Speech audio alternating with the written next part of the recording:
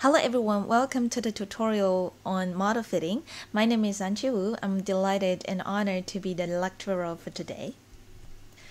Okay, so first self-introduction. My name is Anqi Wu. I'm a postdoc researcher at Columbia University with William Paninski and John Cunningham. I did my PhD at Princeton with Jonathan Pillow.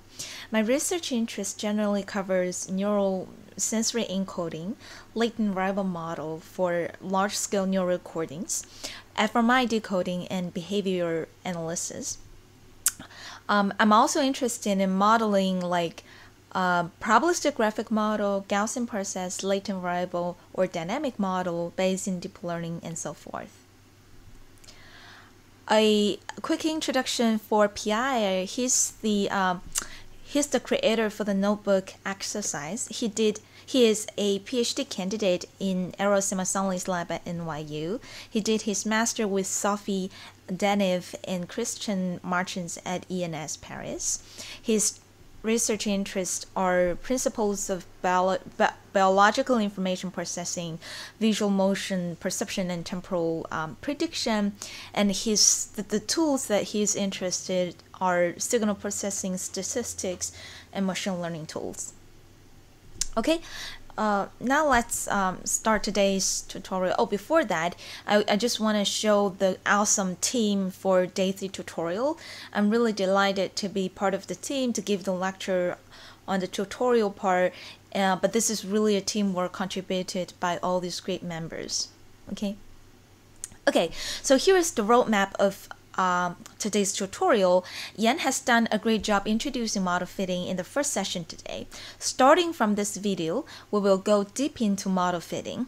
Here is the roadmap of um, today's tutorial. In the first session, we will cover linear regression, bootstrapping, and multiple linear regression. In the second part of the tutorial, we will talk about bias variance trade-off and cross-validation. Hopefully, by the end of the day, you will be familiar with these concepts and know how to do simple modeling fitting in Python. Okay, so um, the first topic is linear regression and mean squared error. Linear regression is a machine learning algorithm that makes predictions about the linear relationship between the input variable x and the output variable y. Here we can assume x to be the contrast of the input stimulus and y to be the neural response of a single neuron. We can plot the observed x and y on the right here.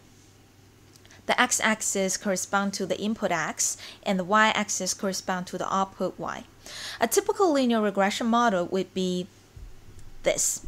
y is equal to theta 1 multiply x plus theta 0, where y is the scalar neural response, x is the input contrast, and they're both observations.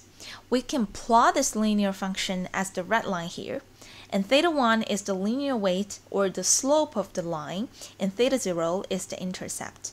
For simplicity of the explanation, we will not consider the intercept for now, um, which results in a one-parameter model like this. The only parameter left is the linear weight, denoted as theta. The red line um, here is the linear model we want to estimate that fits all the data. So the task of fitting a linear model would be to figure out what this theta is.